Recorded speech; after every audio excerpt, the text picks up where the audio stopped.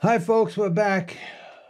Jimmy, Hi, buddy. Hi, my pal, my, my best friend. Uh, hi out there. Good to see everybody again. come about the buzz the bell or whatever you do. Oh, well, if you guys like what you see out there, make sure you always hit like, subscribe, and this way you get a chance to get that bell to ring whenever there's a new podcast with me and Larry. Back to you, Larry. Okay, and for the guy out there that's keeping track of my shirts, there's another one. A couple of hundred dollars. And I can verify that. Anyway, um, like I said, I say it every week. I, I don't keep track no more of what it, it, it's not in order. So I'm just going to be jumping around, and I have about thirty books with stories each each year, each month, and some each day. Different stories that I go into, and that's why that's why Nicholas Pileggi, the guy who wrote Casino and Goodfellas and all them, that's why after sitting down with me three or four times, he says, Larry, he says, um, this can't be a movie. He says, because it makes no difference how many voiceovers we do, it's still going to be a seven hour movie. He says it has to be a TV series. And that's what we're going to do now. We're, we, we're writing a TV series. Uh, the writer's strike was just over. Um, so uh, we should be going forward now, and all I have to do is is is live. That's all. So um, today, I have uh, I got stories from uh, oh God, maybe fifteen or twenty of them. I have the Renee Wall Street story. I have the Kelly Jones Palm Meadows Gulfstream Park um, and Fair Hill Training Center. I have oh, you know what story I'll tell today? Because I think last week I mentioned a couple of businesses that I was in um, between Modern Age Wall Systems and um, um, uh, Leonardi Design Furniture and um, Caseworks. Uh, he- he- here's another one. Um, in right around 2004, 2005, I got a hold of a, a, a friend of mine, and um, a friend of mine got a hold of me and said that there's this company, um, Hypoxico. The name of the company is Hypoxico. And they're in Manhattan. It was founded by a German guy, genius guy. And uh, and they they they wanted somebody in the horse business, and I don't know how they got a hold of Don or myself but uh, we made an appointment and we went up there. So we're sitting in a conference room. In the conference room was a big table with cigarette lighters all around. No ashtray, no nothing. And back then, it was only 15 years ago, whenever it was, uh, nobody could smoke in the buildings. And uh, so the guy comes in, everybody gets introduced. And I said, I got a question before we saw what are all these cigarette lighters for? He says, take that lighter and go outside the door light it, and then come back. So I take the lighter, I go outside, it lights, I come back. He says, did it light? I says, yeah. He says, try to light it now. It won't light. And he pushes a couple of them. He says, try to light them. No. He says, uh, the reason it's not lighting is because this room is an epoxic room. I says, what's an epoxic room? He says, 20, 30% less oxygen. That's right. And um, he says, uh, and then he tells me the whole story how the German guy invented it and everything. And and right now uh, he's in he's in Europe trying to um, build apartment complexes and and many and and, uh, um, and, apartments uh, condos that are all epoxic, so they can never catch fire. He tried to do it here, but the whole um, sprinkler system companies are controlled by the mob. I guess when he tried it, maybe they still are. I, I don't know. How would they And, cook uh, on the stove too? Well, I, I don't. I don't know, Jimmy. I, I don't. I didn't. I didn't ask for particulars. I, I only know what I was told. So I, I don't know. Maybe they had electric stoves. I have no idea. There you go. I, I, I, I- don't know, and, and I don't This care. man knows. I can't get into everything. When somebody tells me something, it's bad. eh, I, I can't remember it. So why do I have to? You're going to tell me about, it and then I got to go into other stuff. So I'll never remember anything. Anyway, Anyway, the epoxy rooms. Yeah. so he was there trying to. He tried to do it here, but he almost got killed from the people that own the uh, uh, the sprinkler system companies. All mob control, I guess. So he went to Germany, and that's what he was doing in Germany. But I found it very, very interesting. And the deal was, he wanted me. He explained to me, and he showed me proof, and I have it in, in my catalog because I did get involved. Uh, that what football teams uh, practice in an arena that's an epoxic arena. What fighters train in an epoxic room situa- in gym. Michael Phelps has his whole house in an epoxic situation. With the guy that won nine Gold medals, yeah. gold For swimming, right? and on and on and on and on. So he says, uh, I want to get into the horse business. So uh, he says it's it's a lot more complicated than just setting up uh, Michael Phelps's house. Uh, that's easy enough. You just seal it with the certain safeguards and everything else, and it's it's done. But with horses, you have the urine, you have the manure, you have yeah, they many many many challenges and they didn't know how to do it. Plus, even if they did know how to do it, they didn't know how to introduce it to other trainers and, and everything. So they says they make make uh, me a partner, fifty percent of whatever I did pertaining to the equine business, meaning polo ponies, equestrian, racehorses, all of that stuff. We'd be partners. Okay, I, I agreed. Me and Don agreed and I knew I, I knew right where I was going to go with this thing, and it was at, at Fair Hill, uh, the thoroughbred. Fair Hill is a place in in uh, in Maryland. It's the largest. It's five thousand acres. I think Dupont owned it, and they turned into a, the biggest training center in the country. I think, and all the top trainers train their horses there. And um, and they're all bonds uh, that are individually sold for half a million, a million dollars each, and um and uh, it's it was the perfect place. So um, they write up the contract, and then I go back to sign the contract, and the contract reads uh, that um, it wasn't in small print because I I hardly uh, you know as long, I just look for an X and I sign my name. That's it. But the the thing, the top part didn't say anything about partnership. It didn't say anything. It said it certain it said uh, commission. And I says, what what what commission am, am I going to get? Well, for everyone that you sell, you're going to get a commission. So commission only. Yeah, I said, but that's not what we said. That's Right. not what we said. and and and when when you talk with me, you can't say something that you ain't gonna do, and I won't neither. If you say it, that means you can do it, and you're gonna have to do it. And the same thing with me. So don't say nothing you can't do. And what you just what's on here is not what you said. So forget about it. And he says, well, you know, you can make a lot of we're either partners where I could use all your marketing material, everything that you have there pertaining to humans, football teams, special forces, uh, Green Berets, all of these. I want to be able to use all of this. boxing gyms, then- whatever. Yeah, I, I want to be able to use all of that. Now you're, you're not going to let me use it? Okay, fine. I, I don't care. And the, the deal is off. So now, during that period of time, it was about a week while we were writing the contracts, I start investigating all, all of this stuff. And, and and I found out that I think it was the 1965 Olympics. Uh, I'm not sure. I, I think it was 1965.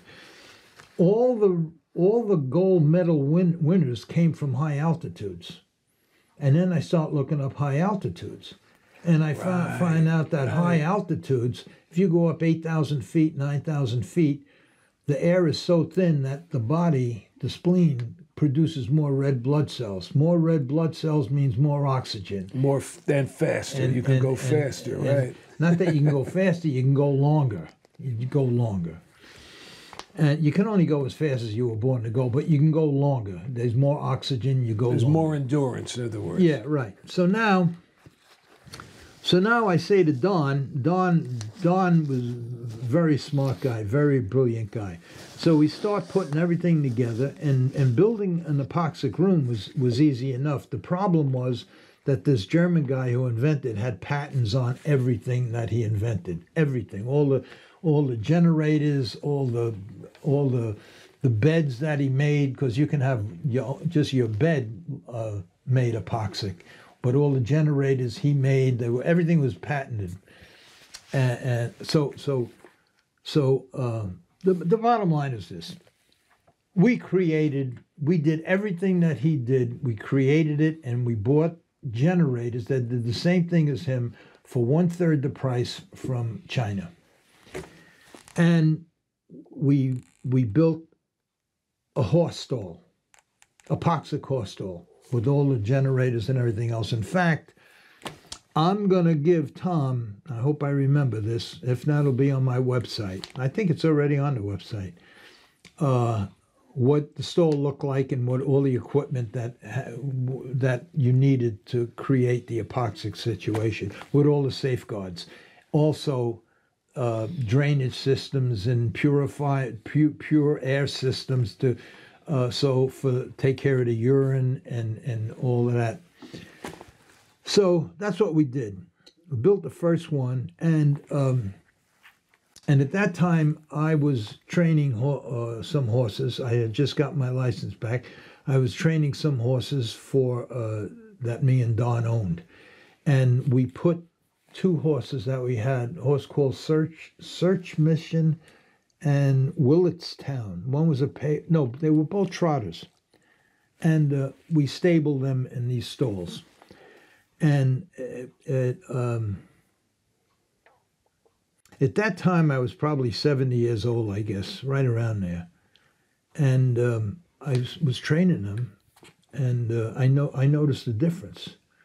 And I says, you know what, Don? I says, I'm going to put these horses into race at the Meadowlands. Now, the Meadowlands, for those that you don't know, it's a premier racetrack. It's a mile racetrack.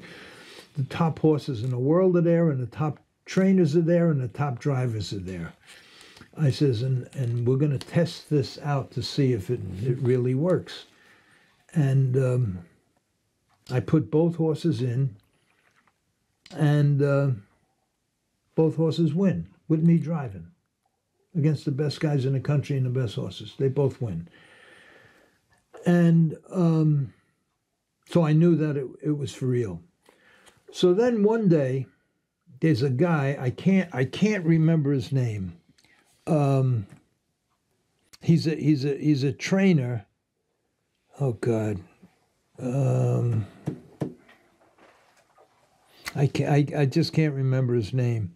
He had a horse. He had a horse. It, sh- it should be down here. I'm looking here, but I, I, I don't see it.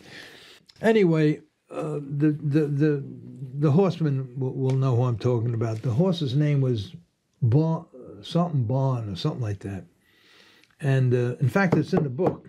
It's in the book. I should I should look in the book. But anyway, he had a horse, a three-year-old trotter and this three-year-old trotter he raced against the same horses and all these three-year-old trotters were all eligible for the Hambletonian which is takes place at the end of the meet at the end of the meadowlands meet Right. and he could never he could never race with them he always finished fourth fifth sixth fourth fifth sixth every race every race every he could never beat the top You have to at least show, don't you, to be there?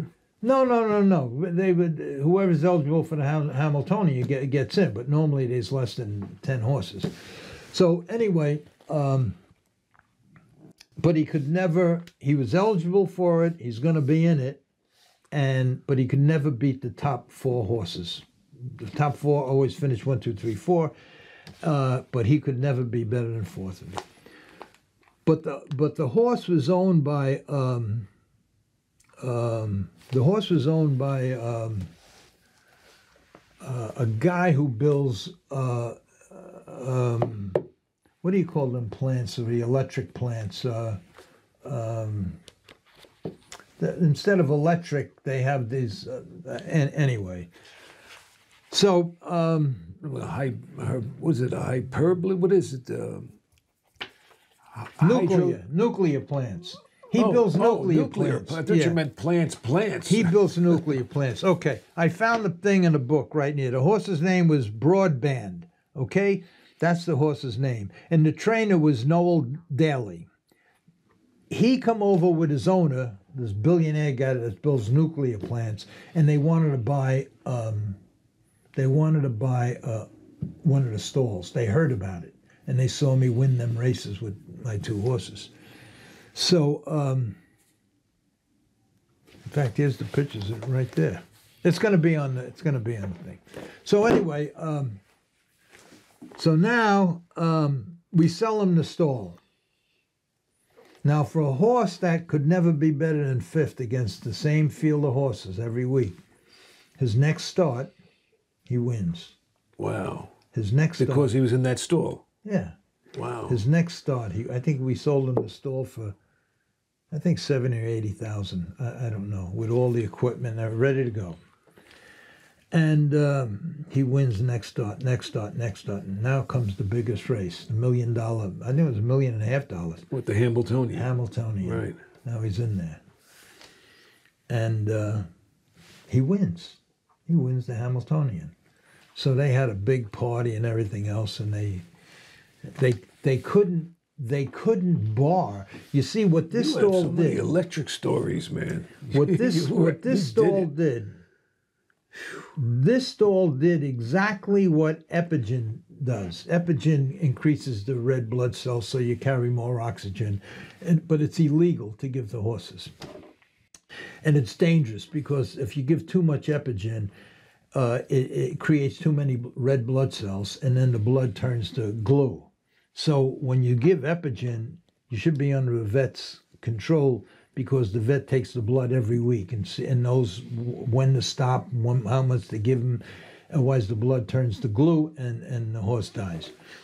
So um, uh, it's it's dangerous, and and many horses died because some trainers that don't know they just keep giving Epogen. Right. You got to be under a doctor's care. Right. With this situation, you, you don't have to be. It's it's all natural. The body just adjusts to, and we To always that put the stalls. Right. We always put the stalls at at um, 10,000, 10 to twelve thousand feet above sea level, where you can't light a match in there. But um, if you could do, let's say you could do ten push-ups, you go in the epoxic stall and you do two and you can't breathe anymore. But if you're in that epoxic stall for maybe 20 days, you'll be able to do. Now, when you come out, you're like a super horse. You do like 60 That- push ups. yeah, and, and and that's why all the fighters that train with this and all the uh, they, they become super super people. So anyway, um, so now we have uh, we have this this stall.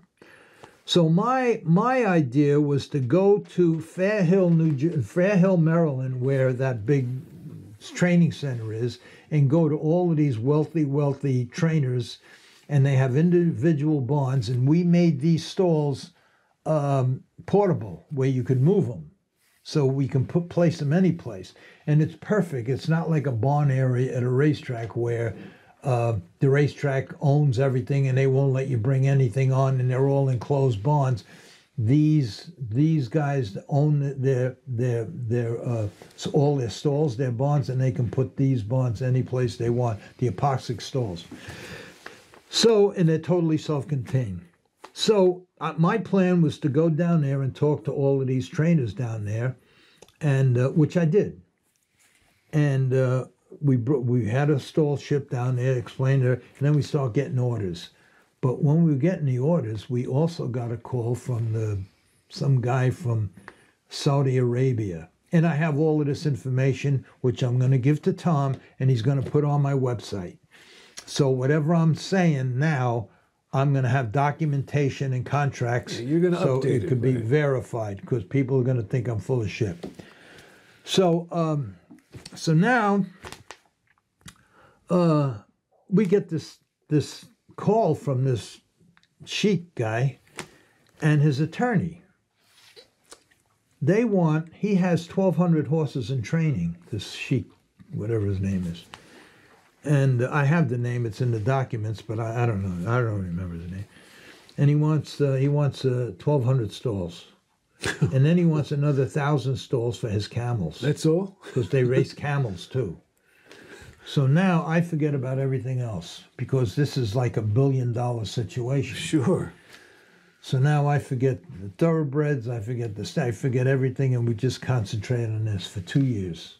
All we do is go back and forth, design the whole thing, how we're going to do it, what we're going to do, everything we're going to do, how it's going to be shipped. We created everything. So you stopped gambling then? Stop what? Gambling at the time, right? I haven't gambled since '72. Oh, okay. So uh, I uh, fixed races up to, to, to 78, but that, that has nothing to do with this. This is 10, 20 years later. So I don't go in order no more. I am all over the place. There's- They're just individual stories that happen years apart. So anyway, we're making this deal, and now we're figuring out how to. So we, we figured out how to shrink wrap it, which we have pictures of that. We figured out how to ship them. We figured out how many we have to make. We all of this stuff and fi- figured out the dollar amount and everything else. And then um, it's in the letter that I have that um, the, their attorney writes back that we're going to have to put a hold on this because the money had to go from their country to another country to another country to which Don was fixing all of that out, all with the banks and everything else, and then something couldn't work, and th- we weren't going to ship this until the money got there, and then something happened, and after two years, I says, you know what, Don, Reiner, tell them to go fuck themselves. Fuck them and their camels and everything else, and that was the end of that story. So that's another, that's another um, uh, business that that that, I- You that mean I like F them and their camel's toe, you mean? huh. Everybody knows that joke. Yeah. So now, I, I told them to go fuck themselves, and that was the end of that. So now I, I'm saying, um, so now just like everything else, the highs, the lows, the highs. So now I'm right- right back crashing again. And then I says, you know what? I'm gonna I'm gonna put together, which I have. Uh, in fact, I have the whole brochure. I'm gonna put together an epoxic gym. I'm going to get a, a place that's maybe 3,000 square feet because my thing now is because I don't want a job. I want to make money. I'm 83 years old. I just want to make a score. I'm not interested in having a job. So what I, I did was I want a place like 2,000 square feet, tops 3,000, so I could franchise it. But the first one is going to be uh, my epoxic gym and I wrote the whole thing out. And the in in this gym is going to be three 20 by 20 epoxic rooms, and they're gonna in the one the first one is going to be for beginners, the next one is going to be for higher ups, and the next one's going to be for the serious people and Pilates and all of that other stuff. So um, I put together the whole thing, and then just like anything else, anything that you're looking to start or sell, you got to have, you got to have, you got to have marketing, advertising, and everything else. Right. right. And uh, uh, so I figure, how am I going to advertise this, marketing and everything? So I says, I know what I'm going to do. I'm going to go to the area where, say, there's a Gold's Gym, and go in that complex, and rent a store as close to Gold's Gym as it could, and then in the whole window put down free seminar for the serious, only serious need need apply. Uh, epoxic gym. So that would work great now with the uh, Will you listen to multiple me? fight with the Yeah, just l- l- listen to me. with those fighters nowadays. Yeah, yeah, it worked good at all. I'm telling you what I went through. Okay. I go to all of these places, and every place where there's a Gold's gym or an LA gym or whatever gyms it is, they all have a contract that in that complex where they're at, and it was going to be great because if I'm right next door, I just put a big thing in the windows, free seminars for the serious only if you want to, you know, and just, Right. and As an enticement, right? Right. And then I go to I go to all these stores, all all of these places, and they all have a contract with Gold's Gym, and in the contract it says that in this whole complex they could never rent another a store that has anything to do with fitness, weight loss, Right. any, anything like that. So now I'm back to zero, which means I have to go find a place someplace else, and then you need a lot of money to market. So you know what I did? I did this. And I opened the drawer and I put it in a drawer, and that's where it stays today. But that's that's that's a great idea. With these ultimate fighters, you'll still you'll still do good. Yeah. I they there's a kid, there's a kid that he's a fighter. He's supposed to be pretty good. And um, I told him, I says, listen, why don't you just build, have an epoxic room, build a gym, and where you train with the big bag and however you train, train in an epoxic situation. You'll never run out of gas. You'll right. never get tired. Your arms and nothing won't. There will be no lactic acid That's build up. and galore. nothing- Wow. Right. But his trainer, the guy who trains him, said, uh, I'm, I'm crazy, it won't work, and everything else. And I learned a long time ago that if you talk to somebody and the guy, if you don't hit his hot button right away, don't even waste your time. Just forget, move on to the next guy. Right. So you could tell the kid was all excited, but the manager didn't want to, the trainer didn't want to do it. He says, uh, like, I'm, I'm nuts and everything else. So I says, okay, so good. Good luck in your career, and I'll, I'll see you around. Yeah, but I really want to do it. Well, if you really want to do it, talk to your manager. And the manager wouldn't let him do it. So that went in the same drawer as the, uh, uh, uh, everything else. A shame. So that's it. But some someday, um, uh, so, something's going to happen. I hope it hurry up, Satin, because it's getting late. And um, the the the movie deal I had with Sony Pictures and Village Roadshow um, in in twenty in twenty twenty, the COVID ended that. Their option got, you know, expired. So they asked me to resign, and I said, if you if you get right back on it, you know, I'm not forty years old and they said they couldn't promise that they get so I didn't sign with them. Then I signed with um, with Nick Vallelonga and Frank Vallelonga. They're the ones that wrote the movie Green Book. Uh, Green Book. Green Book uh, Yeah. won the Academy Award and won the award for the best screen- screenplay. It was about their father, who was my good friend Tony Lip. So uh, they fly in from California. They're going to meet me. They, everything's in place. And Nick had to go back to um, uh, uh, uh, L.A. for a couple of weeks. So Frank calls me up and he says, Larry, he says, my brother got to go back. Can I stay with you for a couple of weeks? I don't know anybody here. And, and the reason he said that was because when he first arrived, he came first. I picked him up at the airport. And he wound up staying at my house for a couple of weeks till he. So we got along really well, and he loved the stories I told about his father. So when his brother was going, he says, "You mind if I stay with you till he comes back?" So I said, "Sure." He says, "All right, I'll be there tonight." That was Monday night. He never shows up. Tuesday, he don't show up. I call, no answer, no answer. Thursday, I get a phone call. They found him dead in the street in the Bronx. What happened was before he come to pick me up, he picked up a hooker, got some cocaine laced with fentanyl. He died right at the steering wheel of his car. Christ. And so that, so now I see his brother at the wake and everything, and his brother says, "Listen, I have to go back to California, straighten all this mess out."